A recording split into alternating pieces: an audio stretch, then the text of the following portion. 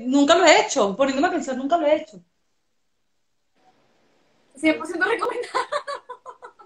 Robert, no me hagas molestar, porque voy a tener mi primera experiencia contigo. Jenny, Jenny, No, por aquí Romer hace esta pregunta. Romer hace esta pregunta. Ajá. Si eres, si llegaste a pelear alguna vez en tu vida, llegaste a pelear, eras medio peleoncita o llegaste a tener una peleita por ahí. Eh, de, de golpe, no, nunca. Nunca he Nunca. peleado así, ni de chiquita, más grande, nada, nada, nada. Nunca he peleado. No.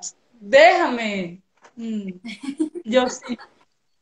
Pero ya esa época la superé, esa era la época chiquita. La época, yo era el terremoto de mi salón, pero esa era la, la- la época chiquitica.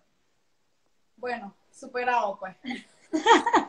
Y ya para cerrar esta parte de preguntas rápidas y respuestas cortas, Menos mal. la de la cachetada fue la última y voy a añadirle una pregunta, una duda que yo tengo que sale del fondo de mi corazón.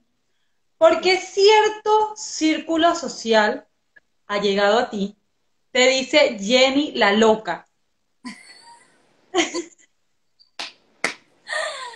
Ok, eso, eso sí es demasiado privado. De verdad que ese productor voy a tener que apretarle las tuercas. o sea, no, en verdad es algo bien chévere. O sea, ¿qué pasa? En Venezuela, em, yo era, bueno, yo era, yo era como más rubiecita, más flaquita, estaba más chiquitica, entonces eh, cualquier persona así que, que, que- cree en los estereotipos o me juzga nada más por el físico, me veía así toda tranquilita, toda calladita, entonces, ay no, esta es como decimos en Venezuela coloquialmente, esta es una cifrinita, esta es súper delicada, esta es no sé qué.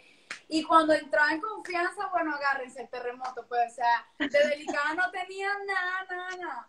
Entonces, era como que siempre decía cualquier, cualquier locura, cualquier estupidez, una salvajada me salía por la boca, entonces era Jenny la loca, Jenny la loca. Y de hecho, bueno, el productor sabe que a veces cuando hablaban, no, eh, eh, Jenny tal cosa, y nadie sabía quién era Jenny, pero decían Jenny la loca, ah, no, ya, ya sabemos quién es, no sé.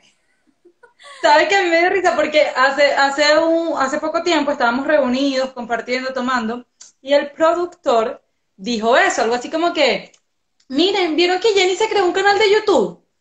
Y entonces todos como que, ¿qué Jenny? Jenny la loca. Ah, sí, Jenny la loca. Y yo así que, pero ¿por qué le dicen así? Y me pongo a indagar, indagar, indagar. Y lo que me dice el productor es que tú eras muy todoterreno.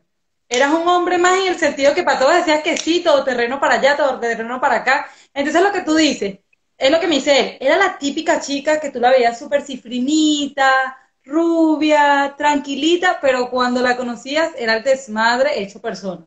Exacto, sí, sí, tal cual. De verdad que yo, yo de pequeña era muy machito también, eso sí es verdad. O sea, era, de chiquita te hablo, eh, menos de 10 años cuando jugaba en el parque, era muy rústica, o sea, siempre jugaba era con los varoncitos.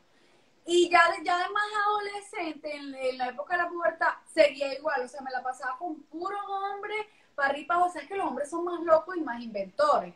Y bueno, yo estaba ahí, pues dale, vamos a, a saltarnos esa cerca y nos vamos a meter para ese colegio a las 12 de la noche a que se a tomar agua, una cosa así. Y lo así, y lo hacíamos, y a mí me costaba, pero lo hacía bien regia, o sea, era, fuerte, era fuerte.